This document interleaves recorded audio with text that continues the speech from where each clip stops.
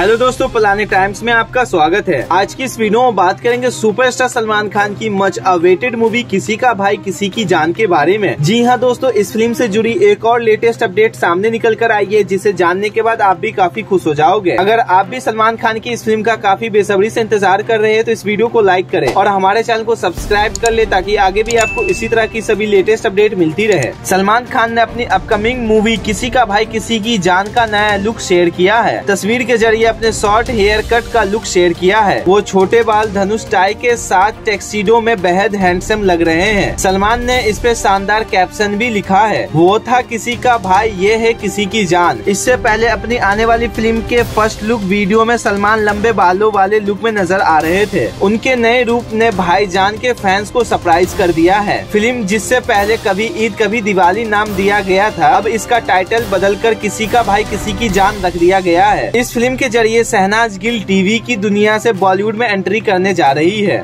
आपको कैसा लगा सलमान खान का ये न्यू लुक हमें कमेंट करके बताएं तो फिलहाल के इस वीडियो के लिए इतना ही मिलते हैं नेक्स्ट वीडियो के साथ